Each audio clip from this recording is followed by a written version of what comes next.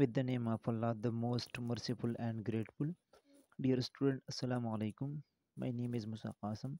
आज की वीडियो में हम माइक्रोबायोलॉजी के सेवन्थ यूनिट डिफेंस मेकनिज़म को डिटेल के साथ डिस्कस करेंगे डिफेंस मेकनिज़म है क्या सबसे पहले हमें ये समझना ज़रूरी है कि डिफेंस होता क्या है डिफेंस हम कहते हैं प्रोटेक्शन को सेफ्टी को तो डिफेंस मेकनिज़म हमारे बॉडी का वो सिस्टम है जो हमें प्रोटेक्शन प्रोवाइड करता है इन्वायरमेंट में मौजूद माइक्रोब से।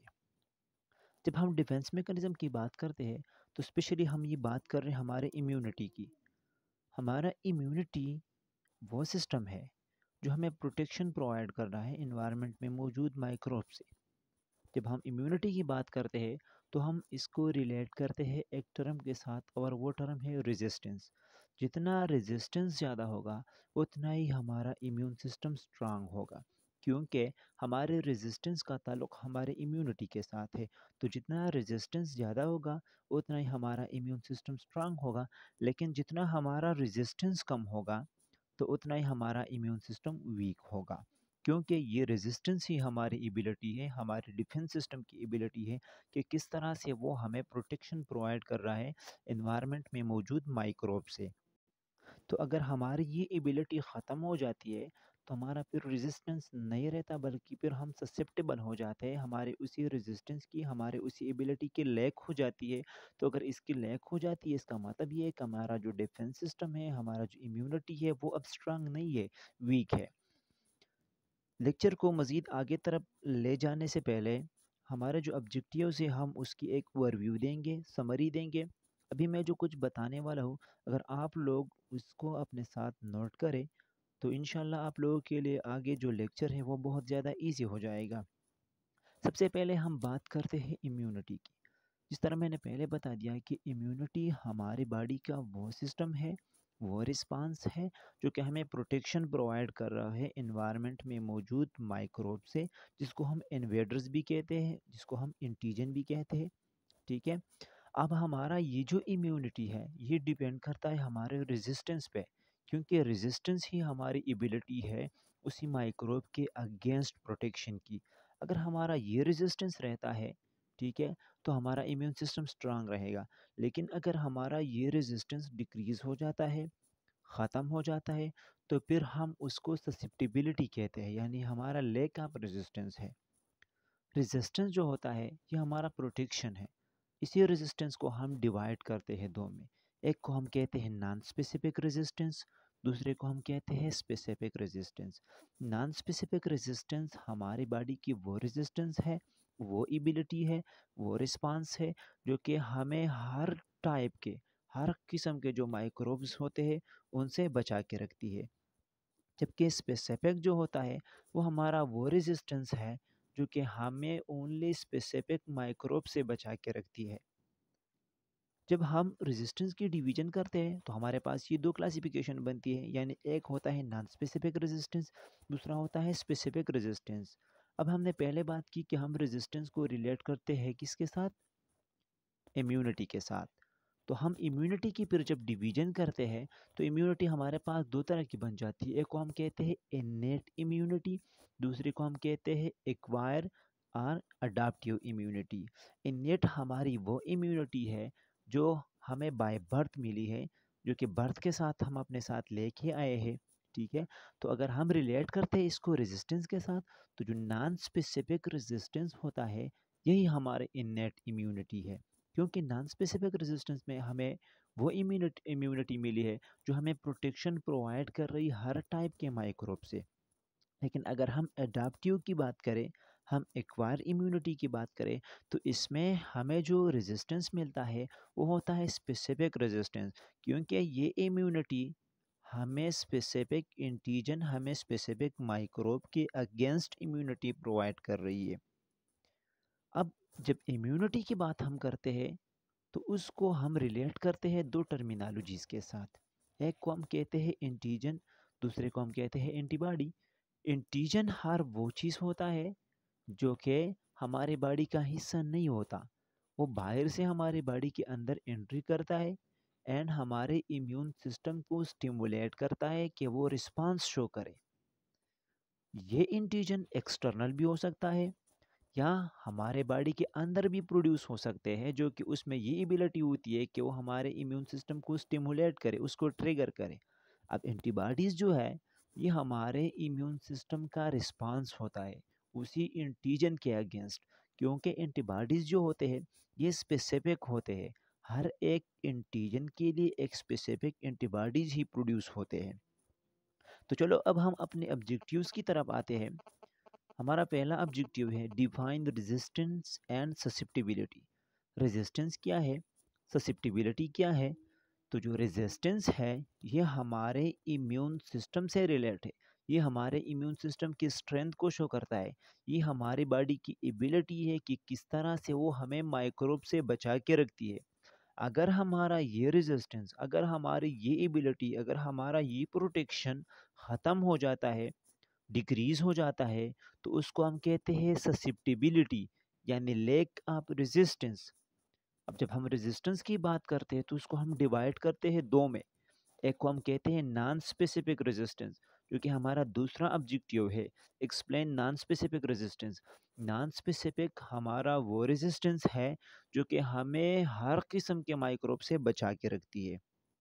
चाहे वो माइक्रोब वायरस हो, चाहे वो बैक्टीरिया हो वो फंजाई हो, वो कोई टॉक्सिन हो, वो कोई केमिकल हो, ठीक है? हर किसी से हमें बचा के रखती है तो हमारा नॉन स्पेसिफिक रेजिस्टेंस है। दूसरा discuss the specific resistance innate resistance and immunity specific हमारा वो रेजिस्टेंस है, जो कि हमें बचा के रखती है स्पेसिफिक माइक्रोब से। स्पेसिफिक एंटीजन से हमें बचा के रखती है तो उसे हम स्पेसिफिक रेजिस्टेंस कहते हैं। अब जो इनेट रेजिस्टेंस है, ये इनेट रेजिस्टेंस हमारे नॉन स्पेसिफिक रेजिस्टेंस के साथ रिलेट है। क्योंकि इनेट रेजिस्टेंस हमारा इनेट इम्यूनिटी है और हमारे इनेट इम्यूनिटी में ये एबिलिटी है कि वो हमें हर टाइप के माइक्रोब से बचा के रखती है। इसलिए जो हमारा नॉन स्पेसिफिक रेजिस्टेंस है, वो हमारे इनेट रेजिस्टेंस या इनेट इम्यूनिटी के साथ रिलेट है। लेकिन जब हम इम्यूनिटी की बात करते हैं तो इम्यूनिटी को हम डिवाइड करते हैं। दो में एक हमारे पास इनेट है, दूसरा हमारे पास अडाप्टिव है। तो इनेट तो हमारा जो इम्यूनिटी है, वो इनेट रेजिस्टेंस के साथ या नॉन स्पेसिफिक रेजिस्टेंस के साथ रिलेट है। जबकि अडाप्टिव जो इम्यूनिटी है या एक्वायर जो इम्यूनिटी है, वो हमारे स्पेसिफिक रेजिस्टेंस के साथ रिलेट है। यानी इसमें हमारा बॉडी जो है, वो स्पेसिफिक माइक्रोब स्पेसिफिक एंटीजन के अगेंस्ट रिस्पांस शो करता है। जिसके अगेंस्ट हमारा बॉडी रिस्पांस शो करता है, वो रिस्पांस हमारा क्या होता है? एंटीबॉडीज़ होती है। एंड जिसके अगेंस्ट रिस्पांस शो करता है, जिसने इम्यून सिस्टम को ट्रिगर किया है, उसको हम एंटीजन कहते हैं। फिर हम जब बात करते हैं रिस्पांस की, और वो रिस्पांस हम एंटीबॉडीज़ के फॉर्म में करें तो हमारे बॉडी के अंदर फाइव टाइप के एंटीबॉडीज़ प्रोड्यूस होते हैं। ठीक है? जो कि आगे हम डिटेल के साथ पढ़ेंगे। हमारा जो सेकंड लास्ट ऑब्जेक्टिव्स है, वो है discuss hypersensitivity hypersensitivity क्या है? इसका एक अलग लेक्चर होगा इंशाल्लाह डिटेल के साथ, इसको भी डिस्कस करेंगे। And describe the role of skin and mucous membrane in non specific resistance हमारे स्किन का, हमारे म्यूकस मेम्ब्रेन का नॉन स्पेसिफिक रेजिस्टेंस में क्या रोल है, इसको हम डिस्क्राइब करेंगे, इसको हम एक्सप्लेन करेंगे। जब हम डिफेंस मेकनिज़म की बात करते हैं तो उसको हम लाइंस में डिवाइड करते हैं। हम कहते हैं कि फ़र्स्ट लाइन ऑफ़ डिफेंस है, सेकंड लाइन ऑफ़ डिफेंस है, थर्ड लाइन ऑफ़ डिफेंस है। तो हमारा जो फ़र्स्ट लाइन ऑफ़ डिफेंस है and second line of defence है, ये नॉन स्पेसिफिक रेजिस्टेंस का हिस्सा है। जबकि हमारा जो थर्ड लाइन ऑफ़ डिफेंस है, वो हमारे स्पेसिफिक रेजिस्टेंस का हिस्सा है। फ़र्स्ट लाइन ऑफ़ डिफेंस में हमारे पास जब हम डिवीज़न करते हैं स्किन आता है म्यूकस मेम्ब्रेन आता है and skin and mucous membrane से जो सिक्रीशंस आते हैं, वो सिक्रीशन हमारे पास फ़र्स्ट लाइन का हिस्सा है। क्योंकि सबसे पहले माइक्रोब का एक्सपोजर इसके साथ होता है। पहले प्रोटेक्शन हमें फ़र्स्ट लाइन प्रोवाइड करता है। जब फ़र्स्ट लाइन नाकाम हो जाता है तो उसके बाद हमें सेकंड लाइन जो है वो प्रोटेक्शन प्रोवाइड करता है। तो सेकंड लाइन में हमारे पास, हमारे बॉडी के जो सेल्स हैं, वो इन्वॉल्व होते हैं, ठीक है? उसके साथ कुछ एंटी माइक्रोबियल सब्सटेंसेस होते हैं, वो इन्वॉल्व होते हैं। लास्ट में हमारे पास जो थर्ड लाइन ऑफ़ डिफेंस है, वो स्पेसिफिक है। उसमें हमारे पास या तो सेल्स प्रोड्यूस होते हैं या एंटीबॉडीज़ प्रोड्यूस होते हैं, क्योंकि वो एंटीबॉडीज़ तो एंटीजन स्पेसिफिक होते हैं, इस वजह से हम ये वाला जो लाइन ऑफ़ डिफेंस होता है, इसको स्पेसिफिक डिफेंस कहते हैं या स्पेसिफिक लाइन ऑफ़ डिफेंस कहते हैं। अच्छा जी इंट्रोडक्शन की तरफ़ आते हैं। From the month months spent in the womb to the end of life every individual is under constant attack from an enormous range of potentially harmful invaders कहते हैं के from the month spent in the womb जो time एक individual अपने माँ के पेट के अंदर गुजारता है, उस टाइम से लेकर to the end of life आपकी ज़िंदगी के आखिरी लम्हात तक, एक इंडिविजुअल की ज़िंदगी के आखिरी लम्हात तक मरने तक, उसे क्या होता है? Every individual is under constant attack from an enormous range of potentially harmful invader हर एक इंडिविजुअल जो है, उसको बेतहाशा, बेशुमार, ख़तरनाक टाइप के जो इन्वेडर्स होते हैं माइक्रोब्स जो होते हैं, उनका सामना करना पड़ता है। यानी माँ के पेट के अंदर जो इंडिविजुअल होता है, बच्चा होता है, उस टाइम से लेकर एक इंडिविजुअल के ज़िंदगी के आखिरी लम्हात तक, यानी मरने तक, ये जो दौरानिया है, इस दौरानिए में उसे बेशुमार टाइप के जो मुख्तलिफ़ ख़तरनाक हमारे पास इन्वेडर्स होते हैं माइक्रोब्स होते हैं केमिकल्स होते हैं टॉक्सिन्स होते हैं, उनका सामना करना होता है। These threats include such diverse entities जिसकी हमने बात की कि उन्हें बेतहाशा, बेशुमार जो हार्मफुल इन्वेडर्स है, उनका सामना करना होता है। तो उन्हीं इन्वेडर्स में हमारे पास ऐसे भी कुछ स्ट्रक्चर्स शामिल है, जो कि बहुत स्मॉल से डाइवर्स एंटिटीज़ है, जो कि साइज़ में वो बहुत क्या है, छोटे से लाइक बैक्टीरिया हो गया वायरस हो गए, ठीक है कैंसर सेल्स है पैरासाइट्स है, या फॉरन नॉन सेल्फ सेल्स है। एंड टिश्यू ट्रांसप्लांट, लाइक अगर हम टिश्यू ट्रांसप्लांट करते हैं तो वो भी हमारे बॉडी का अपना हिस्सा तो नहीं है, वो भी बाहर से आए हैं, ठीक है? तो भी हमारे सिस्टम को एक तरह से स्टिमुलेट करते हैं। The body has therefore developed a wide selection of protective measures against the invader. यही वजह है कि हमारा जो इम्यून सिस्टम है, हमारा जो बॉडी है, वो क्या करता है? इन्हीं इन्वेडर्स के अगेंस्ट एक प्रोटेक्शन प्रोवाइड करता है, एक प्रोटेक्शन डेवलप करता है, ठीक है? एंड यही जो प्रोटेक्शन वो डेवलप करता है, इसी प्रोटेक्शन के थ्रू वो हमें क्या करता है? वो हमें सेफ़ रखता है, हमें जो है इन्वेडर्स के अटैक से बचा के रखता है। क्योंकि इन्वेडर्स के अटैक जिस तरह हमने पहले बात की कि माँ के पेट में उस टाइम से लेकर इन तक एक इंडिविजुअल को इसका सामना करना होता है और यही हमारा सिस्टम है कि वो सिलेक्शन करता है कि किस तरह से हमें प्रोटेक्शन प्रोवाइड करे इन्हीं इन्वेडर्स से। अच्छा जब हम बात करते हैं तो उससे पहले कुछ टर्मिनोलॉजीज़ है, उनको डिटेल के साथ थोड़ा डिस्कस करते हैं। सबसे ज़रूरी जो टर्मिनोलॉजी है, वो है रेजिस्टेंस का, क्योंकि यही रेजिस्टेंस है जिसको हम रिलेट करते हैं हमारे इम्यून सिस्टम के साथ। रेजिस्टेंस क्या है? The ability of the body to resist against invader ये क्या है? ये हमारी बॉडी की एबिलिटी है ये हमारे इम्यून सिस्टम की स्ट्रेंथ है, जो कि क्या करती है, हमें प्रोटेक्शन प्रोवाइड करती है हर उसी माइक्रोब से, हर उसी इन्वेडर से, जो कि हमारे बॉडी का हिस्सा नहीं है, और वो हमारे बॉडी के अंदर एंट्री करके हमें नुकसान पहुँचा सकता है। And protect the body from getting damage तो ये रेजिस्टेंस क्या है? क्योंकि हमें प्रोटेक्शन प्रोवाइड करता है तो प्रोटेक्शन की वजह से हमारा जो बॉडी है, वो डैमेज से बच जाती है। इसलिए रेजिस्टेंस क्या है? हमारे बॉडी की एबिलिटी है, किस चीज़ की प्रोटेक्शन की किस के अगेंस्ट इन्वेडर्स के अगेंस्ट, माइक्रोब के अगेंस्ट, जो कि हमारे बॉडी का हिस्सा नहीं है, हमारे बॉडी के अंदर एंट्री करेंगे एंड हमें नुकसान पहुंचाएँगे। इसके साथ हम एक टर्मिनोलॉजी यूज़ करते हैं, जो कि इसकी अपोजिट है, इसके अगेंस्ट है, वो टर्मिनोलॉजी है ससेप्टिबिलिटी। ससेप्टिबिलिटी क्या है? The meaning of susceptibility is the quality or state of being susceptible. Susceptibility की मीनिंग क्या है?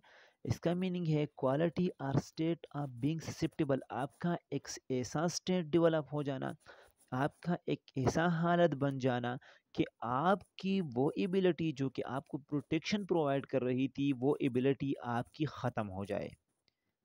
ठीक है? तो क्या कहते हैं कि specially lack of ability to resist some extraneous agent like microbes आपकी बॉडी की पहले एक एबिलिटी थी। वो एबिलिटी क्या कर रही थी? आपको प्रोटेक्शन प्रोवाइड कर रही थी माइक्रोब्स के अगेंस्ट और आप उसी एबिलिटी को नाम दे रहे थे रेजिस्टेंस लेकिन अगर आपकी वो एबिलिटी उसकी लेक हो जाए, आपकी वो एबिलिटी ख़त्म हो जाए तो आपकी इसी एबिलिटी के ख़त्म होने को क्या कहते हैं? ससिप्टिबिलिटी कहते हैं, क्योंकि आपकी एबिलिटी किसके अगेंस्ट ही माइक्रोब की अगेंस्ट ही जो कि एक्सट्रेनियस थे। आपके बॉडी का हिस्सा नहीं थे, आपके बॉडी से बाहर थे। वो आपके बॉडी के अंदर अब एंट्री करेंगे, ठीक है? क्योंकि आपके बॉडी की जो रेजिस्टेंस थी, इन्हीं माइक्रोब के अगेंस्ट के, वो एंट्री ना करे। वो रेजिस्टेंस अब क्या हो गया है? उसकी लेक हो गई है, ख़त्म हो गई है। तो आसान अल्फाज में अगर हम इसकी डिफिनीशन करें तो हमारे पास डिफिनीशन ये बनेगा कि लेक आप रेजिस्टेंस एस्कार्ड ससिप्टिबिलिटी आपके रेजिस्टेंस का ख़त्म हो जाना, ठीक है? आपके रेजिस्टेंस का ख़त्म हो जाना, ये क्या है? ये ससिप्टिबिलिटी है। तो ये दोनों एक दूसरे के साथ क्या है? अपोजिट है, ठीक है? एक में आपकी एबिलिटी है रेजिस्टेंस में आपकी एबिलिटी है, ठीक है? जबकि ससिप्टिबिलिटी में आपकी उसी एबिलिटी का लेक है, आपकी उसी एबिलिटी का ख़त्म हो जाना है। अच्छा जी, जब हम रेजिस्टेंस की बात करते हैं तो हम उसकी टाइप की तरफ़ फिर चलेंगे। रेजिस्टेंस को हम डिवाइड करते हैं दो में। एक को कहते हैं स्पेसिफिक रेजिस्टेंस दूसरा हमारे पास है नॉन स्पेसिफिक रेजिस्टेंस तो पहले हम नॉन स्पेसिफिक रेजिस्टेंस को डेवलप करते को डिस्क्राइब करते हैं डिफाइन करते हैं कि नॉन स्पेसिफिक रेजिस्टेंस क्या है। Non-specific resistance as the defense of our body from any kind of the pathogen, ठीक है? इसको मैं सर्कल कर देता हूँ। यही आपका डिफिनीशन है कि नॉन स्पेसिफिक जो रेजिस्टेंस है ये हमारे बॉडी की वो एबिलिटी है ये हमारे बॉडी का वो रिस्पांस है जो कि हमें किसी भी टाइप के पैथोजन से बचा के रखती है। इस तरह मैंने पहले वाले लेक्चर्स में आप लोगों को बताया था कि पैथोजन क्या होता है। पैथोजन हम जितने भी जर्म्स हैं उन सब के लिए इकट्ठे एक नाम यूज़ करते हैं, जिसको हम पैथोजन कहते हैं। ठीक है? तो पैथोजन में हमारे पास वायरस भी आ गया पंजाई भी आ गई, बैक्टीरिया भी आ गया प्रोटोजवा भी आ गया, पैरासाइट भी आ गया, ठीक है? तो इन तमाम से, चाहे जो भी है, इनसे हमें बचाने वाला जो रेजिस्टेंस है, उसको हम कहते हैं नॉन स्पेसिफिक रेजिस्टेंस और फिर जब नॉन स्पेसिफिक रेजिस्टेंस है तो मैंने पहले ही बात की कि नॉन स्पेसिफिक रेजिस्टेंस में हम जब डिफेंस की बात करते हैं डिवीज़न की तो उसमें हमारे पास first line and second line of defence आता है। तो फ़र्स्ट लाइन ऑफ़ डिफेंस में हमारे पास फिर कौन होता है? स्किन होता है म्यूकस मेम्ब्रेन होता है, उनकी सिक्रीशन होती है। सेकंड लाइन ऑफ़ डिफेंस में हमारे पास क्या होता है? सेकंड लाइन ऑफ़ डिफेंस में हमारे पास जो है पेगोसाइटोसिस है, ठीक है? उसके साथ इन्फ्लेमेटरी रिस्पांस है एंड थर्ड हमारे पास जो है सेकंड लाइन में वो है जो एंटी माइक्रोबियल सब्सटेंसेस है या प्रोटीन्स है वो है, ठीक है? ये हमारे पास नॉन स्पेसिफिक रेजिस्टेंस का हिस्सा बनेगा, क्योंकि ये first line and second line दोनों भी हमारे पास नॉन स्पेसिफिक है। It include skin and mucous membrane ठीक है? और नॉन स्पेसिफिक रेजिस्टेंस में हमारे पास कौन आता है? स्किन आता है एंड म्यूकस मेम्ब्रेन अब स्किन एंड म्यूकस मेम्ब्रेन किसका हिस्सा है? ये हमारे पास फ़र्स्ट लाइन ऑफ़ डिफेंस का हिस्सा है। Phagocytosis inflammation fever production of antimicrobial substances तो जो पेगोसाइटोसिस है इन्फ्लेमेशन है फीवर है पेन है रेडनेस है स्वेलिंग है, ठीक है? या एंटीमाइक्रोबियल सब्सटेंसेस है जो कि माइक्रोब के अगेंस्ट हमारा इम्यून सिस्टम प्रोड्यूस करता है, ये हमारे पास बनते हैं सेकंड लाइन ऑफ़ डिफेंस में, ठीक है? ये हमारे सेकंड लाइन ऑफ़ डिफेंस का हिस्सा है, जबकि स्कैन एंड म्यूकस मेम्ब्रेन जो है, ये हमारे फ़र्स्ट लाइन ऑफ़ डिफेंस का हिस्सा है। इसलिए जो नॉन स्पेसिफिक रेजिस्टेंस है ये हमारे पास कितने? दो लाइन ऑफ़ डिफेंस पे मुश्तमिल होता है। फ़र्स्ट लाइन ऑफ़ डिफेंस पे and second line of defence पे ठीक है? अब जब हम बात करते हैं दूसरे टाइप की तो हमारे पास है न, वो हमारे पास है स्पेसिफिक रेजिस्टेंस तो स्पेसिफिक रेजिस्टेंस जिस तरह नाम से ज़ाहिर है कि स्पेसिफिक एबिलिटी है स्पेसिफिक इन्वेडर के अगेंस्ट ठीक है? रेजिस्टेंस है तो ज़ाहिर बात है हम एबिलिटी की बात करेंगे। एंड स्पेसिफिक है तो ये एबिलिटी अब हमारी स्पेसिफिक है। The ability of the body to defend itself against specific invading agent हमारी बॉडी की वो एबिलिटी जो कि हमें स्पेसिफिक एंट्री करने वाले ऑर्गेनिज्म के अगेंस्ट प्रोटेक्शन प्रोवाइड कर रही है। ठीक है? सच एज बैक्टीरिया वो स्पेसिफिक हमारे पास बैक्टीरिया भी हो सकता है। टाक्सिन भी हो सकता है वायरसेस भी हो सकती है एंड कोई फॉरन टिश्यू भी हो सकती है, ठीक है? लेकिन यहाँ पे जो रेजिस्टेंस है, वो ओनली अगेंस्ट उसी एनवेडर के अगेंस्ट होगा, जिसके अगेंस्ट हमें रेजिस्टेंस चाहिए। जबकि नॉन स्पेसिफिक में क्या था? नॉन स्पेसिफिक में हर किसी के अगेंस्ट रेजिस्टेंस शो हो रहा था। अब स्पेसिफिक में ओनली उसी के अगेंस्ट रेजिस्टेंस डेवलप होगा, उसी के अगेंस्ट रेजिस्टेंस शो होगा, जिसके अगेंस्ट हमें प्रोटेक्शन चाहिए। तो अब जिस तरह हमने बॉडी के डिफेंस मैकेनिज्म की बात की, ठीक है? तो first line and second line हमारे पास नॉन स्पेसिफिक रेजिस्टेंस में आता है, ठीक है? जबकि थर्ड लाइन ऑफ़ डिफेंस जो है, वो याद रखिए थर्ड लाइन ऑफ़ डिफेंस वो हमारे पास स्पेसिफिक रेजिस्टेंस में आता है, ठीक है? First line and second line कौन से में है? नॉन स्पेसिफिक में है, जबकि थर्ड लाइन ऑफ़ डिफेंस जो है, वो हमारे पास स्पेसिफिक रेजिस्टेंस में आता है। अच्छा जी इनेट रेजिस्टेंस क्या है? ठीक है? ये तो हमारे पास रेजिस्टेंस की टाइप थी कि नॉन स्पेसिफिक एंड स्पेसिफिक अब यहाँ पे जो इनेट रेजिस्टेंस है, इसके लिए हम एक और टर्म भी यूज़ कर सकते हैं, वो है इनेट इम्यूनिटी ये एक तरह से हमारे पास इम्यूनिटी की क्लासिफिकेशन है कि innate immunity and acquire immunity तो इनेट रेजिस्टेंस या इनेट इम्यूनिटी हमारी वो इम्यूनिटी है जो हमें बाय बर्थ मिली है, ठीक है? हम इसको अपने साथ लेके आए हैं। जबकि एक्वायर इम्यूनिटी या एक्वायर हमारा जो रेजिस्टेंस है वो है जो कि हमने अपनी ज़िंदगी में जब हम पैदा हुए तो उस टाइम से लेकर हमारे मरने तक हमने ज़िंदगी में किसी टाइम पे उसको गेन किया है। हम बाय बर्थ इसको अपने साथ नहीं लेके आए। इनेट रेजिस्टेंस क्या है? The inherited or by birth ability of the body to resist against invaders such as bacteria, virus, foreign body cells, etc. innate innate किसको कहते हैं? इनहेरिटेड को कहते हैं ठीक है? या बाई बर्थ यानी वो जो हम अपने साथ लेके आए हैं। अब रेजिस्टेंस है तो रेजिस्टेंस क्या है? एबिलिटी है किसकी? हमारे बॉडी की। किसके अगेंस्ट इन्वेडर के अगेंस्ट तो हमारे बॉडी की वो एबिलिटी हमारे बॉडी की वो प्रोटेक्शन जो कि हमें इन्वेडर के अगेंस्ट सेफ्टी प्रोवाइड कर रही है, लेकिन ये सेफ्टी हम अपने साथ लेके आए हैं, ये हमें इनहेरिटेड मिली है, ये हमें बाय, हम, ये बाय बर्थ लेके आए और हमारी एबिलिटी चाहे वो वायरस के अगेंस्ट है, बैक्टीरिया के अगेंस्ट है, कोई फॉरन बॉडीज़ है, उनके अगेंस्ट है, केमिकल्स के अगेंस्ट है, टॉक्सिन के अगेंस्ट है तो उसको हम कहते हैं इननेट रेजिस्टेंस अब जब हम बात करते हैं इम्यूनिटी की तो स्पेशली हम बात करते हैं एडाप्टिव इम्यूनिटी की, यानी ये हमारे बॉडी की वो सिस्टम है जो हम अपनी ज़िंदगी में मुख्तलिफ़ टाइम के साथ किसी के माइक्रोब्स के साथ एक्सपोजर करके डेवलप करेंगे या हमें कोई वैक्सीन मिलेगी, एंटीबॉडीज़ मिलेंगी, उसी के थ्रू हम इसको डेवलप करेंगे। इम्यूनिटी क्या है? Immunity as define is the body's ability to protect itself from an infectious disease. Immunity क्या है? ये हमारे बॉडी की एबिलिटी है। किस चीज़ की? प्रोटेक्शन की। किसके अगेंस्ट इन्फेक्शियस डिज़ीज़ के अगेंस्ट इन्फेक्शियस डिज़ीज़ वो बीमारियाँ होती है, जो कि माइक्रोब के ज़रिए डेवलप हो जाती है। ठीक है? अगर ये बीमारियाँ एक इंडिविजुअल से दूसरे को ट्रांसफ़र होती है तो हम फिर उसको कंटीजियस कहते हैं। वेन यू आर यानी हर इन्फेक्शियस डिज़ीज़ जो है, वो मतलब अगर हर कंटीजियस बीमारी है, ठीक है तो वो इन्फेक्शियस हो सकती है, लेकिन हर इन्फेक्शियस बीमारी जो है वो कंटीजियस नहीं हो सकती। When you are immune to a disease अगर आप एक डिज़ीज़ के अगेंस्ट इम्यून है, यानी आपके एक बीमारी के अगेंस्ट इम्यून सिस्टम बना हुआ है, आपका इम्यून सिस्टम स्ट्रांग है तो इसका मतलब ये है your immune system can fight up infection from it तो आपका इम्यून सिस्टम उसी इन्फेक्शन के अगेंस्ट उसी माइक्रोब के अगेंस्ट फाइट करेगा। आपको बचा के रखेगा, क्योंकि इन्फेक्शन क्या है? माइक्रोब का आपके बॉडी के अंदर जाना और आपके बॉडी के अंदर मल्टीप्लाई होना, इसको हम इन्फेक्शन कहते हैं। तो अगर आप पहले से क्या है? इम्यून है, उसके अगेंस्ट आपका इम्यून सिस्टम बना हुआ है, आपकी इम्यूनिटी बनी हुई है, ठीक है? तो फिर आपका इम्यून सिस्टम अगर ही माइक्रोब एंट्री करता है तो उसके अगेंस्ट रेजिस्टेंस शो करेगा, उसके अगेंस्ट फाइट करेगा और आपको बचा के रखेगा, क्योंकि आपका इम्यून सिस्टम तो उसके अगेंस्ट बना हुआ है। अच्छा जी जब भी हम इसी पूरे लेक्चर को आ, कवर करेंगे तो ये पूरा जो लेक्चर है ये इन्हीं दो चीज़ों पे बना हुआ है। क्योंकि जब हम इम्यूनिटी की बात करते हैं तो इम्यूनिटी बनती कैसी है? क्योंकि जब इंटीजन एंट्री करेगा तो उसके अगेंस्ट जो है हमारा इम्यून सिस्टम रिस्पांस शो करेगा तब हमारी इम्यूनिटी बनेगी ठीक है?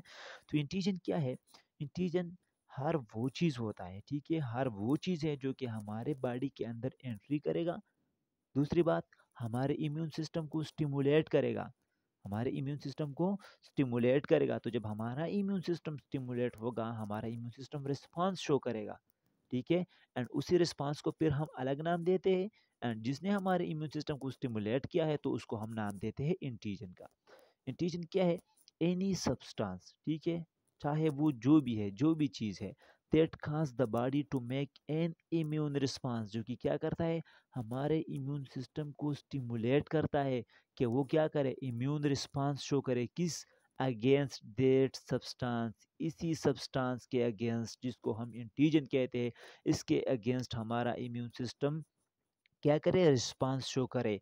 तो वो सब्सटेंस जो कि हमारे इम्यून सिस्टम को स्टिमुलेट करता है कि वो रिस्पांस शो करे, ठीक है?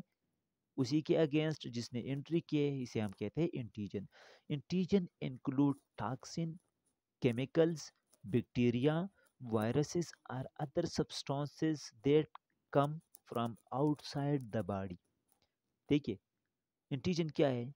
इंटीजन हर वो चीज़ है, जो कि हमारे बॉडी का हिस्सा नहीं है। ठीक है, पहली बात इंटीजन हर वो चीज़ है, जो कि हमारे इम्यून हमारे बॉडी का हिस्सा नहीं है। ये कहाँ से आता है? Come from outside the body, बाहर से आता है और वो हमारे इम्यून सिस्टम को स्टिमुलेट करता है।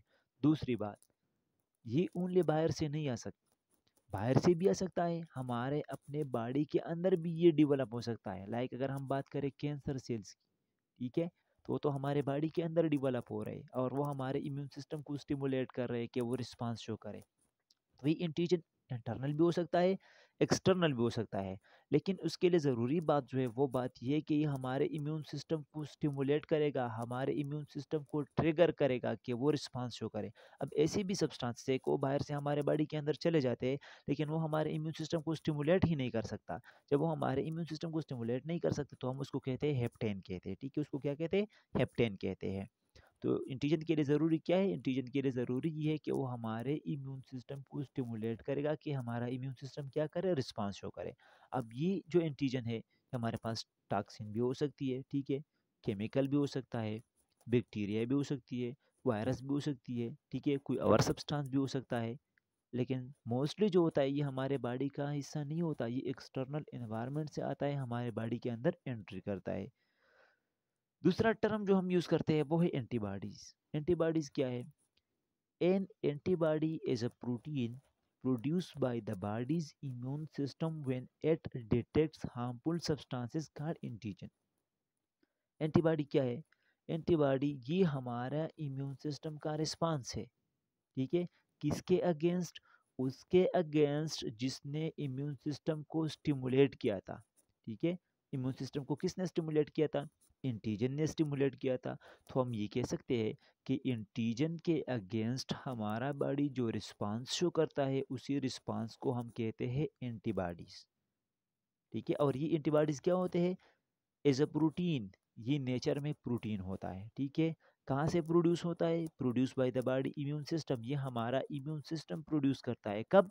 When it detect harmful substance जब वो हार्मफुल सब्सटेंस को क्या करता है? डिटेक्ट करता है, आइडेंटिफाई करता है, क्योंकि वही हार्मफुल सब्सटेंस है जिसे हम इंटीजन कहते हैं और यही इंटीजन है कि वो हमारे इम्यून सिस्टम को स्टिमुलेट करता है कि आपने रिस्पांस शो करना है और वो रिस्पांस क्या होता है? एंटीबॉडीज़ होती है, ठीक है? तो इंटीजन, एंटीबॉडीज़ दोनों में डिफरेंस क्या है?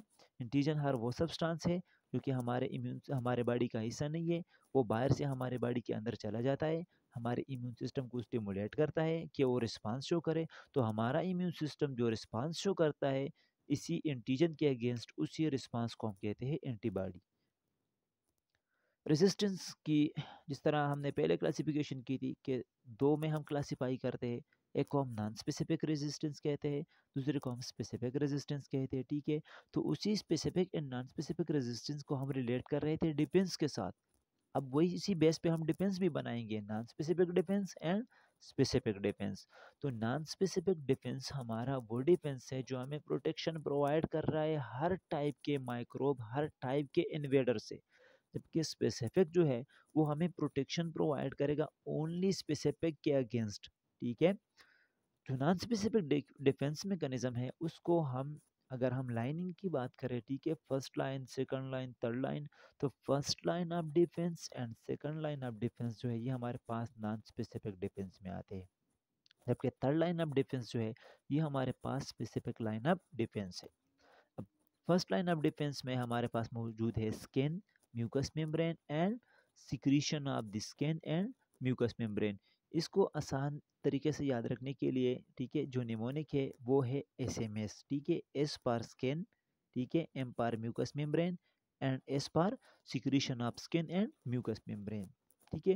ये हमारा फ़र्स्ट लाइन ऑफ़ डिफेंस है, यानी सबसे पहले अगर माइक्रोब ने हमारे बॉडी के अंदर एंट्री करना है तो वो इसी लाइन को क्रॉस करेगा। पहले हमारे स्किन को क्रॉस करेगा, ठीक है, या म्यूकस मेम्ब्रेन को क्रॉस करेगा। म्यूकस मेम्ब्रेन वो हमारे बॉडी के जितने भी केविटीज़ है, ठीक है? और वो सराउंडिंग एनवायरनमेंट के साथ कनेक्शन में आ रहे तो उसको एक लाइनिंग मिली है, ठीक है? उसको क्या मिली है? एक लाइनिंग मिली है, उसके ऊपर एक पर्दा बना है तो उस पर्दे को क्या कहते हैं? म्यूकस मेम्ब्रेन कहते हैं। तो माइक्रोब पहले क्या करेगा? या तो स्किन को क्रॉस करेगा, या म्यूकस मेम्ब्रेन को क्रॉस करेगा, या इन्हीं ही म्यूकस मेम्ब्रेन या स्किन में से जो सिक्रीशन आते हैं उन्हीं सिक्रीशन को क्रॉस करेगा, ठीक है? पहले इन ही बेरियर्स का सामना करेगा, इसलिए हमारे पास फ़र्स्ट लाइन ऑफ़ डिफेंस है। फिर जो सेकंड लाइन ऑफ़ डिफेंस है तो सेकंड लाइन ऑफ़ डिफेंस में हमारे पास पेगोसाइटोसिस होता है। एंड वो जो पेगोसाइटोसिस है, वो हमारे पास स्पेसिफिक टाइप के डब्ल्यू होते हैं वाइट ब्लड सेल्स होते हैं, जो कि शो करते हैं, ठीक है? तो सेकंड लाइन ऑफ़ डिफेंस में अगर फ़र्स्ट लाइन ऑफ़ डिफेंस से एक माइक्रोब एंट्री करके चला गया अंदर तो सेकंड लाइन ऑफ़ डिफेंस का सामना करेगा उसे। सेकंड लाइन ऑफ़ डिफेंस में हमारे पास पेगोसाइटोसिस होता है, ठीक है? एंटी माइक्रोबियल जो प्रोटीन है या सब्सटेंसेस है, वो होते हैं एंड इन्फ्लेमेटरी रिस्पांस तो उसको आसानी से याद रखने के लिए आप लोगों ने निमोनिक को याद रखना है P I A P I ए ठीक है? पी पार पेगोसाइटोसिस है आई पार इन्फ्लेमेटरी रिस्पांस है इन्फ्लेमेशन है and A for anti microbial protein जो पेगोसाइटोसिस है, ठीक है? आगे डिटेल के साथ हम इसको डिस्कस करेंगे। इसमें हमारे बॉडी के अंदर कुछ सेल्स होते हैं, ठीक है? वो सेल्स क्या करते हैं? जिस माइक्रोब ने एंट्री की है तो वो उसी माइक्रोब को खाते हैं। क्या करते हैं? उसी माइक्रोब को खाते हैं। तो जब एक सेल दूसरे को खाते हैं तो उसको हम कहते हैं पेगोसाइटोसिस लेकिन जब एक सेल दूसरे सेल की ड्रिंकिंग करता है, उसको पीता है तो उसको कहते हैं पीनोसाइटोसिस ठीक है? एंड कुछ एंटी माइक्रोबियल प्रोटीन्स होते हैं हमारे बॉडी के अंदर, ठीक है? वो क्या करते हैं? हमें माइक्रोब के अगेंस्ट प्रोटेक्शन प्रोवाइड करते हैं। एंड एक हमारा इन्फ्लेमेटरी रिस्पांस होता है, जो कि हमारे बॉडी का क्या है? हमारे बॉडी का एक डिफेंस रिस्पांस है। उसी माइक्रोब के अगेंस्ट जिसने हमारे बॉडी के अंदर एंट्री करने के बाद इन्फेक्शन काज किया है, ठीक है? तो उसी इन्फेक्शन के अगेंस्ट एक रिस्पांस होता है इन्फ्लेमेटरी रिस्पांस उस इन्फ्लेमेटरी रिस्पांस के फिर कुछ कार्डिनल साइंस होते हैं, जिसमें रेडनेस होता है स्वेलिंग होती है हीट होता है पेन होता है, ठीक है? तो इस redness heat pain swelling fever ये सारे भी हमारे पास सेकंड लाइन ऑफ़ डिफेंस का हिस्सा बनते हैं, ठीक है? एंड लास्ट में हमारे पास जो स्पेसिफिक डिफेंस मैकेनिज्म है, वो थर्ड लाइन ऑफ़ डिफेंस पे मुश्तमिल होता है। थर्ड लाइन ऑफ़ डिफेंस में हमारे पास सेल्स होते हैं, ठीक है? क्या होते हैं? सेल्स होते हैं एंड वो सेल्स जो है, वो दो टाइप के होते हैं। एक को हम कहते हैं बी सेल्स एंड दूसरा जो है हमारे पास क्या है? टी सेल्स क्योंकि ये जो बी सेल्स है एंड टी सेल्स है, ये कौन बनाता है? ये लिम्पोसाइड बनाता है। लिम्पोसाइड क्या है? लिम्पोसाइड हमारे डब्ल्यूबीसी का एक टाइप है। अच्छा यहाँ पे एक ज़रूरी बात मैं बताने वाला हूँ। वो ज़रूरी बात ये है कि डब्ल्यू को हम डिवाइड करते हैं पाँच टाइप में, ठीक है? डब्ल्यू के कितने टाइप्स हैं? पाँच। अब इन पाँच जो टाइप्स है, उसमें हमारे पास है neutrophil eosinophil basophil monocyte and lymphocyte इन दोनों, इन ये जो पाँच टाइप हैं हमारे पास, इसको हम दो कैटेगरीज में डिवाइड करते हैं।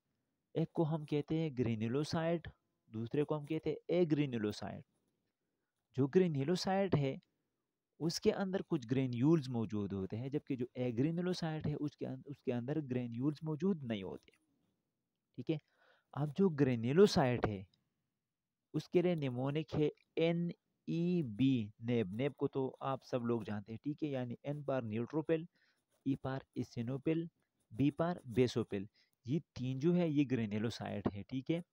जबकि जो एग्रेनुलोसाइड है, उसमें हमारे पास आता है मानोसाइड एंड लेम्पोसाइड अब यहाँ पे मैं एक बात बताने वाला हूँ तो वो बात आप लोगों ने याद रखनी है कि ग्रेनुलोसाइड जितने भी है, यानी न्यूट्रोपिल, एसिनोपिल, बेसोपिल, ठीक है, एंड एग्रीनिलोसाइड में मानोसाइड ये चार टाइप के जो डब्ल्यू बी सीज है, ये नॉन स्पेसिफिक डिफेंस प्रोवाइड करते हैं, ठीक है? क्या करते हैं? नॉन स्पेसिफिक डिफेंस प्रोवाइड करते हैं। Second line of defence provide करते हैं, ठीक है? जबकि जो लेम्पोसाइट है, ये भी डब्ल्यू है एंड कौन सा टाइप है? एग्रेनुलोसाइट है, ठीक है? ये हमें स्पेसिफिक डिफेंस प्रोवाइड करता है, यानी थर्ड लाइन ऑफ़ डिफेंस हमें प्रोवाइड करता है। एंड इसमें दो टाइप के सेल बनते हैं लेम्पोसाइट के। B lymphocyte and T lymphocyte ठीक है? फिर जो बी लिम्पोसाइट है, ये अलग टाइप की इम्यूनिटी बनाते हैं एंड टी लिम्पोसाइट जो है, ये अलग टाइप की इम्यूनिटी बनाते हैं, ठीक है? बी लिम्पोसाइट जो है, ये हमारे पास ह्यूमोरल इम्यूनिटी बनाते हैं टी जो है, ये सेल मीडिएटेड इम्यूनिटी बनाते हैं। अब ये जो बी टाइप है, ठीक है, ये क्या करते हैं? ये एंटीबॉडीज़ प्रोड्यूस करते हैं। जब 20 टाइप के सेल्स का एक्सपोजर होता है एंटीजन के साथ तो ये दो टाइप के सेल में डिवाइड हो जाता है। एक को हम कहते हैं मेमोरी सेल दूसरा हमारे पास होता है प्लाज्मा सेल। जो मेमोरी सेल है, वो मेमोरी रखते हैं उसी इंटीजन का, उसी इंटीजन का रिकॉर्ड रखते हैं, उसी इंटीजन का इमेज रखते हैं, ठीक है? जबकि जो प्लाज्मा सेल्स है, वो उसी इंटीजन के अगेंस्ट एंटीबॉडीज बना देते हैं। ठीक है? और जो दूसरा टाइप है हमारे पास तो वो टी है। तो टी लिम्पोसाइट वो डायरेक्ट एक्शन शो करते हैं, ठीक है? उसके भी फिर अपने टाइप्स होते हैं, ठीक है? लाइक हेल्पर टी सेल्स होते हैं साइटोटॉक्सिक टी सेल्स होते हैं। तो हेल्पर टी सेल्स एक तरह से हेल्प प्रोवाइड करते हैं एंड साइटोटॉक्सिक टी सेल्स जो है, वो डायरेक्ट इन्वॉल्व होते हैं एक्शन शो करते हैं। अब हम हर एक लाइन ऑफ़ डिफेंस को डिटेल के साथ डिस्कस करेंगे, लेकिन इससे पहले एक रिकॉल देते हैं, एक समरी देते हैं आप लोगों के लिए कि हमारे पास लाइन ऑफ़ डिफेंस कितने होते हैं? तीन लाइन ऑफ़ डिफेंस होते, ठीक है? First line of defence second line of defence and third line of defence अच्छा जी, फ़र्स्ट लाइन ऑफ़ डिफेंस में कौन कौन से स्ट्रक्चर्स या कौन कौन से जो बैरियर्स हैं हमारे पास होते तो उसके लिए हमने निमोनिक बना दिया था S M S S M S यानी skin, mucous membrane and skin and mucous membrane से जो सिक्रीशंस आते हैं वो, ठीक है? फिर हमारे पास जो सेकंड लाइन ऑफ़ डिफेंस था तो सेकंड लाइन ऑफ़ डिफेंस के लिए हमने निमोनिक बना दिया था पी आई यानी phagocytosis I for inflammatory response and A for anti microbial substances या एंटी माइक्रोबियल प्रोटीन ठीक है? एंड जो थर्ड लाइन ऑफ़ डिफेंस है थर्ड लाइन ऑफ़ डिफेंस में हमारे पास आता है लिम्पोसाइट्स ठीक है? ये लिम्पोसाइट दो तरह के थे T lymphocyte and B lymphocyte तो जो बी लिम्पोसाइट थे, वो क्या बना रहे थे? एंटीबॉडीज बना रहे थे, ठीक है? अब अगर हम क्लासिफिकेशन करें on the basis of specific and non specific तो first line and second line, ये हमारे पास नॉन स्पेसिफिक डिफेंस मेकनिज़म है, ठीक है? जबकि थर्ड लाइन जो है, ये हमारे पास स्पेसिफिक लाइन ऑफ़ डिफेंस है। अब हम आते हैं फ़र्स्ट लाइन ऑफ़ डिफेंस की तरफ़। तो फ़र्स्ट लाइन ऑफ़ डिफेंस में हमारे पास कौन था? स्किन था म्यूकस मेम्ब्रेन था एंड इन दोनों से जो सिक्रीशन आ रहे थे वो। अब ये जो फ़र्स्ट लाइन ऑफ़ डिफेंस है, हम इसको फर्दर डिवाइड करते हैं तीन में। यानी हमारे पास फ़िज़िकल भी हो सकता है केमिकल भी हो सकता है एंड बायोलॉजिकल भी हो सकता है। फ़िज़िकल का मतलब ये है कि अब ये लाइन ऑफ़ डिफेंस जो है, इसका कोई स्ट्रक्चर होगा।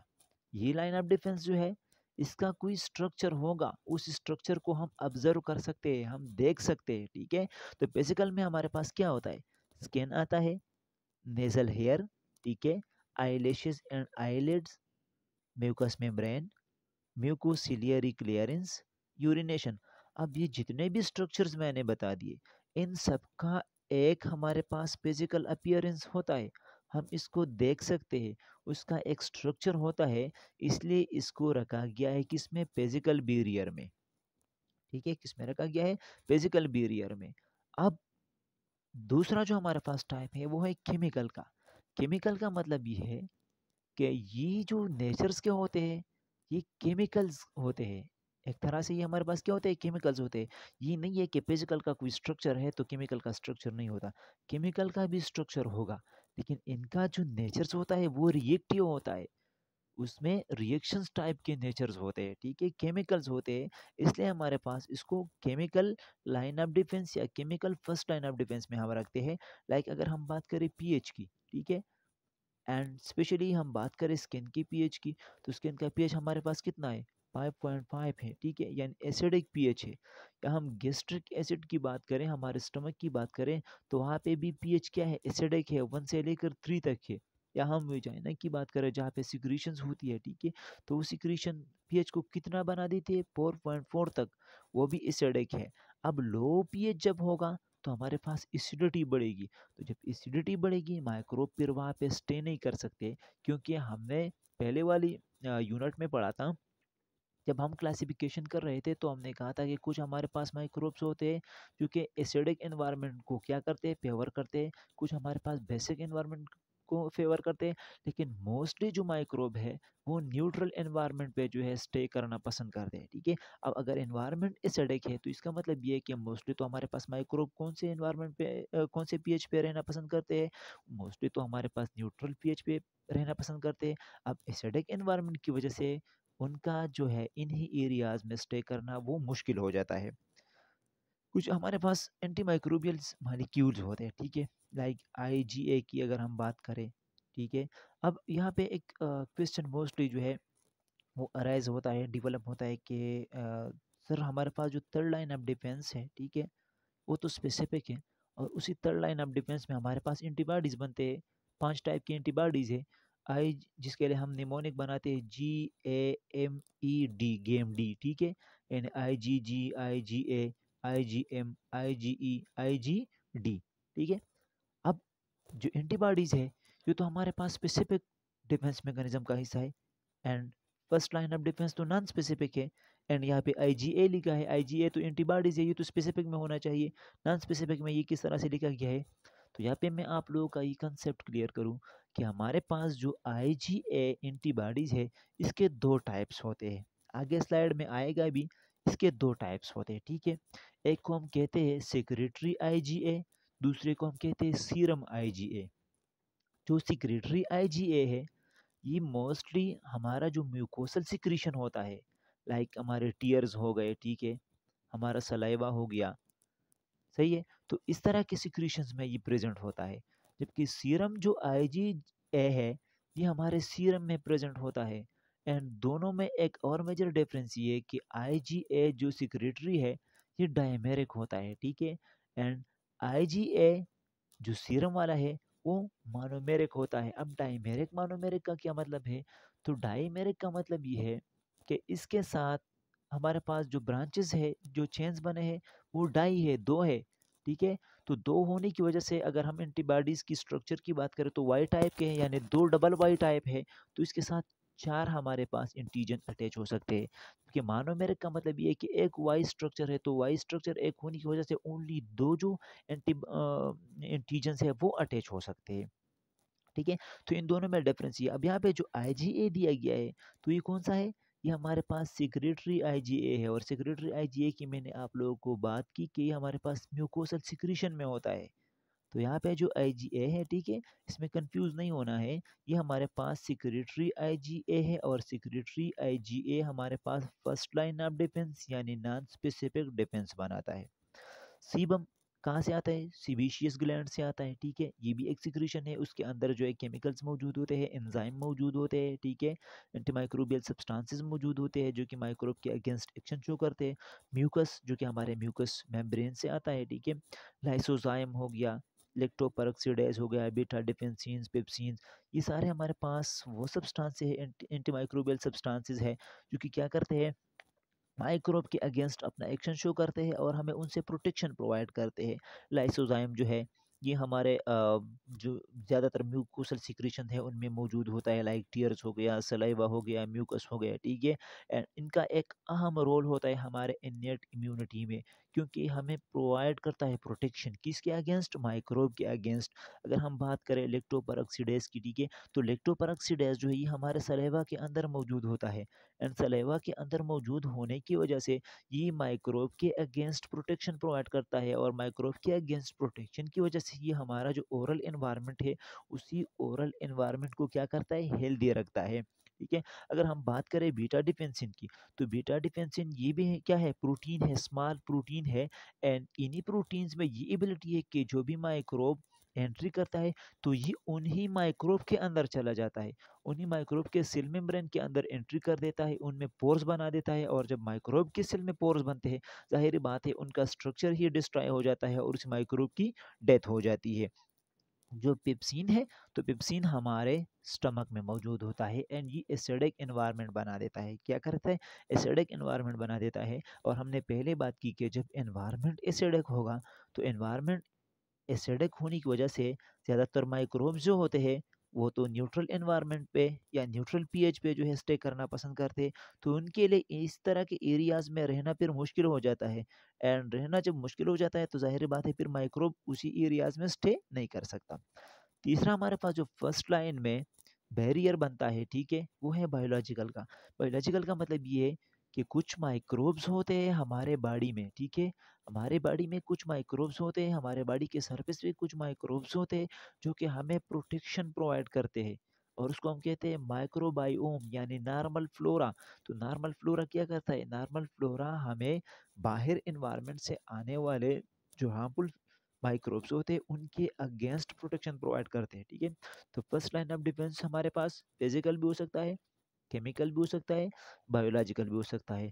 तो ज़्यादा रट्टा लगाने की ज़रूरत नहीं है, आसान बनाते इसको, ठीक है? इसके लिए नमूने है PCB, Pakistan cricket board, P for physical, C for chemical, B for biological, ठीक है? अच्छा जी, अब हम चलते हैं सेकंड लाइन ऑफ़ डिफेंस की तरफ़। तो सेकंड लाइन ऑफ़ डिफेंस की तरफ़ आगे बढ़ने से पहले एक रिवीजन देते हैं। इसके लिए हमने एक निमोनिक बना दिया था, ठीक है?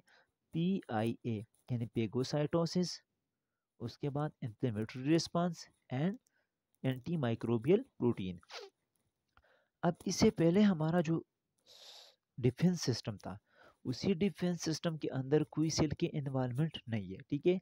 अब हमारा जो सेकंड लाइन ऑफ़ डिफेंस है यहाँ पे हमारा सेलुलर रिस्पांस शो हो जाता है, यहाँ पे हमारा सेलुलर रिस्पांस जो है वो शुरू हो जाता है, ठीक है? उसी सेलुलर रिस्पांस के साथ हमारे कुछ प्रोटीन्स भी होते हैं, ठीक है? जो कि हमें क्या करते हैं? प्रोटेक्शन प्रोवाइड करते हैं माइक्रोब्स के अगेंस्ट हम सेकंड लाइन ऑफ़ डिफेंस को डिवाइड करते हैं, ठीक है? तीन कैटेगरीज में, एक हमारा पास होता है सेलुलर रिस्पांस दूसरे हमारे पास प्रोटीन्स होते हैं, तीसरे हमारे पास है अदर रिस्पांस है, यानी इन्फ्लेमेशन की बात करते हैं इन्फ्लेमेटरी रिस्पांस है। जब हम सेल्स की तरफ़ जाते हैं तो इसमें हमारे बॉडी के वो सेल्स जो कि हमें प्रोटेक्शन प्रोवाइड करते हैं, वो इन्वाल्व होते हैं और वो सेल्स कौन से होते हैं? वो हमारे डब्ल्यू होते हैं, जिसको हम ल्यूकोसाइड भी कहते हैं, ठीक है? डब्ल्यू बी सीज भी होते हैं, जिसको हम ल्यूकोसाइड भी कहते हैं। इस तरह हमने पहले क्लासिफिकेशन की कि डब्ल्यू बी सीज हमारे पास पाँच टाइप के होते हैं। हम इनको दो कैटेगरीज में डिवाइड करते हैं, एक हमारे पास ग्रेनुलोसाइड की कैटेगरी है, दूसरा एग्रेनुलोसाइड है। ग्रेनुलोसाइड के लिए हमने निमोनिक बना दिया था एन ई बी नेप का, यानी न्यूट्रोपिल्स, इसिनोपिल्स एंड बेसोपिल्स। ये हमारे पास ग्रेनुलोसाइड है, जबकि मानोसाइड एंड लेम्पोसाइट ये हमारे पास क्या है? एग्रीनेलोसाइट है। फिर हमने ये भी बात की कि जितने भी ग्रेनुलोसाइट है थ्री टाइप्स है हमारे पास, वो तीनों सेकंड लाइन ऑफ़ डिफेंस बनाते हैं, जबकि एग्रीनेलोसाइट हमारे पास दो थे तो उसमें जो मानोसाइट है, वो भी सेकंड लाइन ऑफ़ डिफेंस बनाता है, जबकि जो लेम्पोसाइट है, वो थर्ड लाइन ऑफ़ डिफेंस बनाते हैं। अब एम आते हैं अक्सर के, जो सबसे लार्जेस्ट डब्ल्यूबीसी है, या सबसे लार्जेस्ट टाइप ऑफ़ ल्यूकोसाइट वो कौन सा है? तो मानोसाइट हमारे पास सबसे लार्जेस्ट डब्ल्यूबीसी है, ठीक है? जबकि सबसे स्मॉलेस्ट टाइप ऑफ़ डब्ल्यूबीसी जो है, वो लेम्पोसाइट होता है, जो कि हमारा थर्ड लाइन ऑफ़ डिफेंस बनाता है। अब एम दो और भी आते हैं कि सबसे ज़्यादा पाए जाने वाला डब्ल्यू बी सी वो कौन सा होता है? तो सबसे ज़्यादा पाए जाने वाला जो डब्ल्यू बी सी होता है, वो हमारे पास न्यूट्रोपेल होता है। एंड एक और एम भी बनता है कि सबसे कम पाया जाने वाला डब्ल्यू बी सी कौन सा होता है? तो हमारे पास बेसोपेल होता है। ठीक है?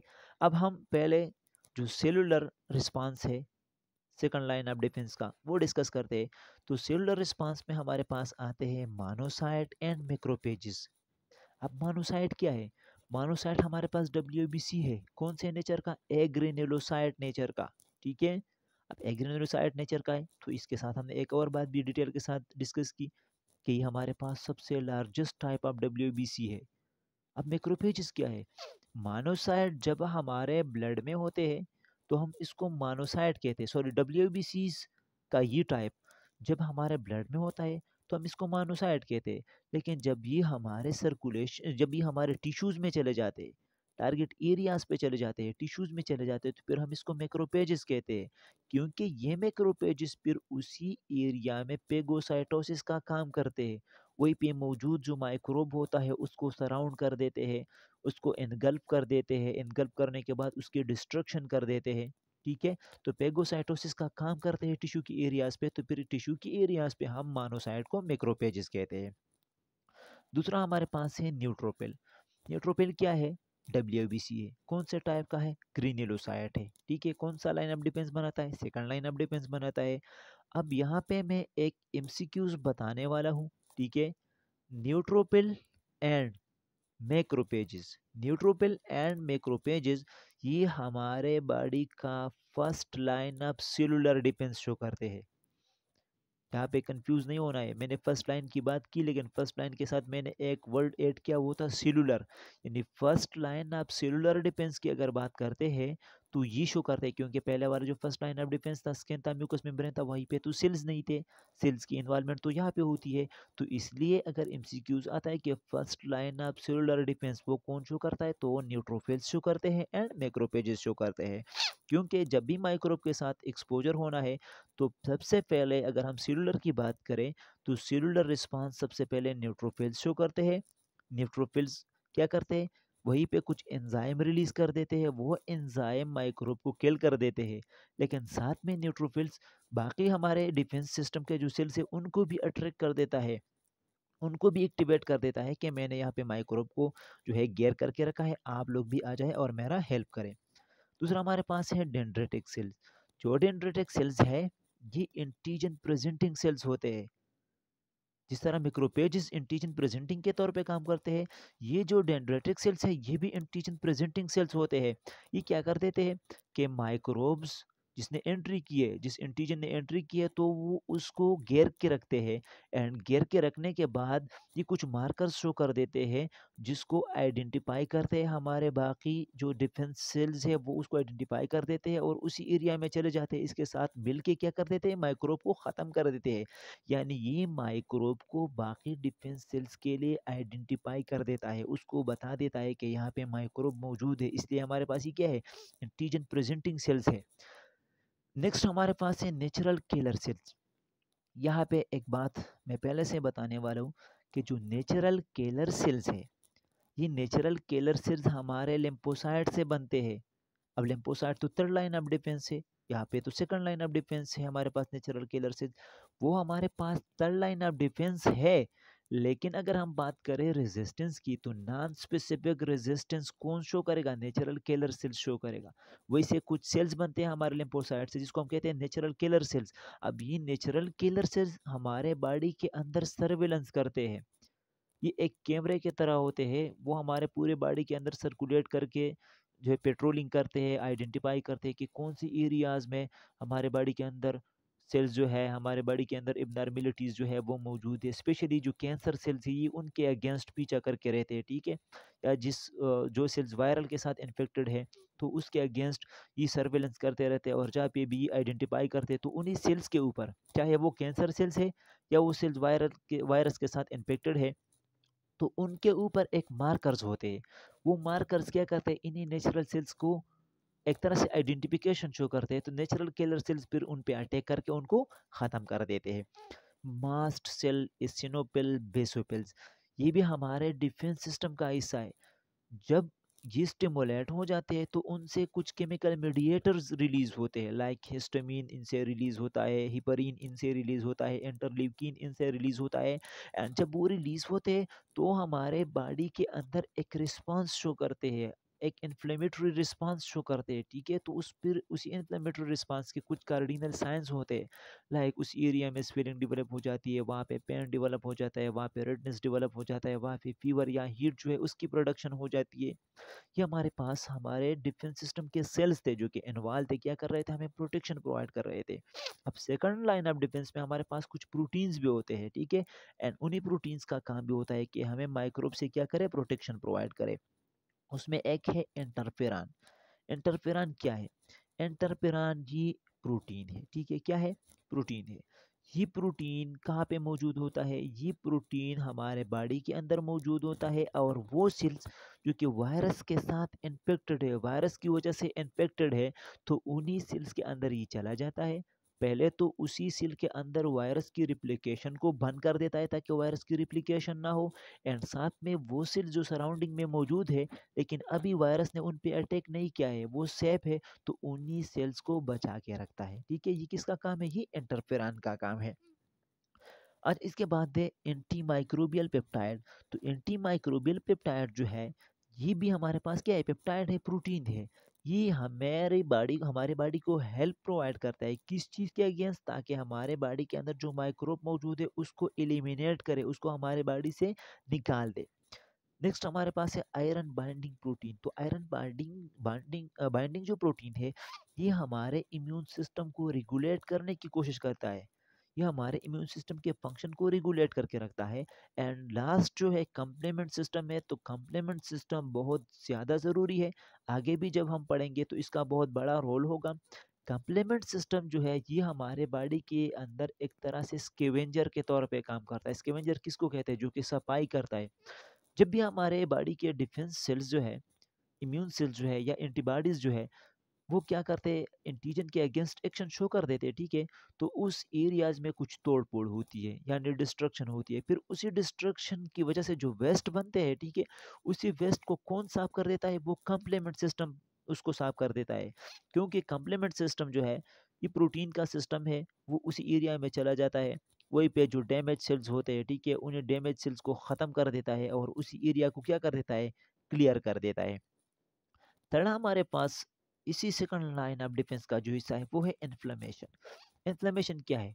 जब भी हमारे बॉडी के अंदर माइक्रोब एंट्री करता है एंट्री के बाद मल्टीप्लाई हो जाता है तो उसको हम इन्फेक्शन कहते हैं। अब इसी इन्फेक्शन के अगेंस्ट हमारा इम्यून सिस्टम एक रिस्पांस शो करता है, उसको हम कहते हैं इन्फ्लेमेशन उसी इन्फ्लेमेशन के कुछ कार्डिनल साइंस होते हैं। रेडनेस स्वेलिंग ठीक है? उसके साथ पेन पेन के साथ जो हीट अब इन्हीं तीन चार जो कार्डिनल साइंस है उसका काम ये होता है कि उसी एरिया जहाँ पे माइक्रोब मौजूद है, उसने एंट्री की है तो उसको उसी एरिया तक महदूद करके रखना।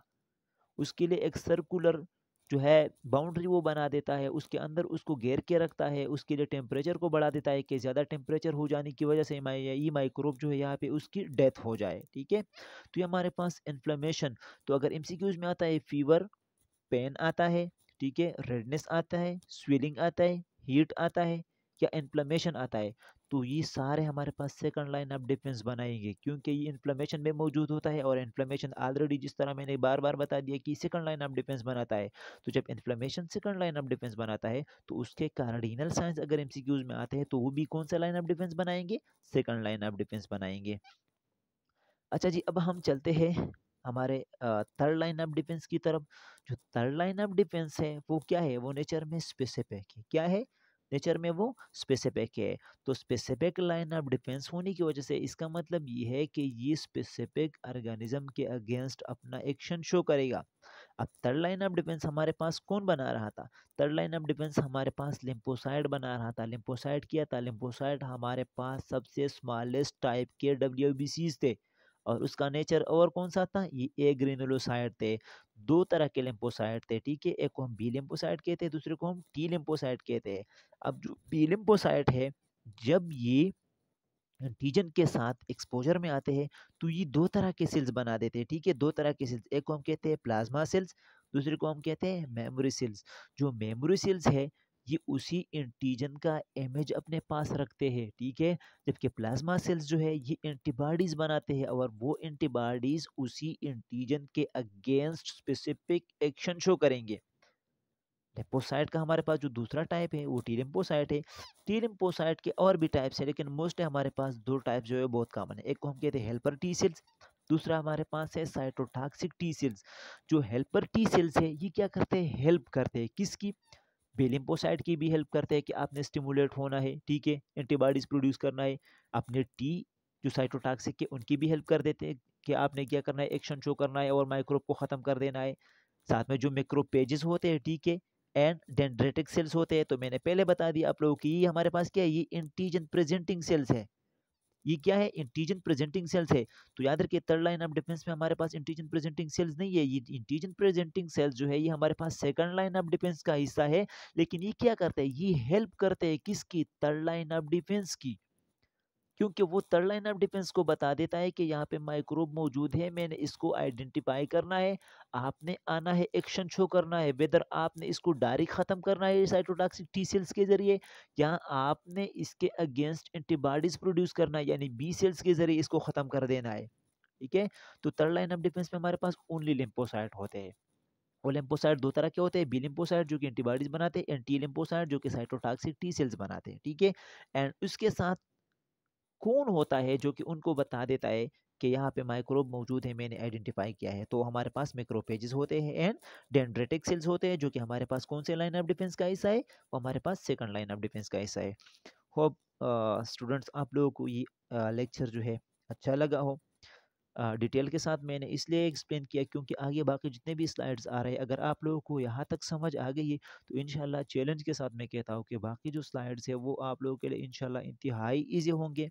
अगर आप लोगों को ये वीडियो अच्छी लगी है तो प्लीज़ चैनल को सब्सक्राइब करें, वीडियो को लाइक करें एंड अपने दोस्तों के साथ शेयर करें।